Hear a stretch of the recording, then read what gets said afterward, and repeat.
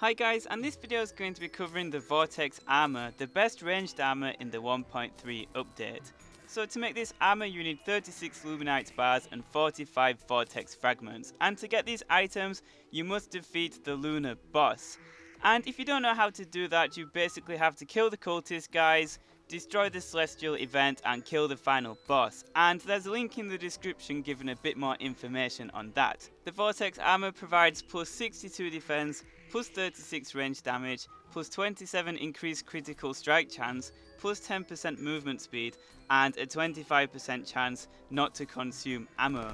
There's also a set bonus in this set and it causes you to go into stealth when you double tap the down button, making monsters less likely to attack you. This is a great weapon for range because you're usually quite vulnerable attacking from a distance and the fact that enemies are less inclined to attack you is a great help. Now they can still see you and attack you if you get close, but overall they are much less inclined to attack you. Another cool feature of this armor set is the 25% chance to not consume ammo. The Space Dolphin machine gun and the Mega Shark already have a 50% chance of not consuming ammo, which means that your ammo depletes very slowly.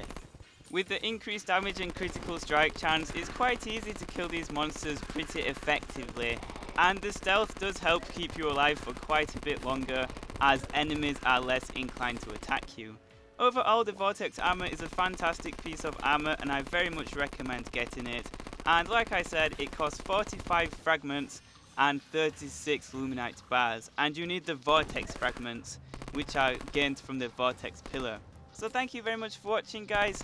This video was covering the Vortex armor in the 1.3 update. Be sure to like the video and subscribe for more of these videos, and thank you very much for watching.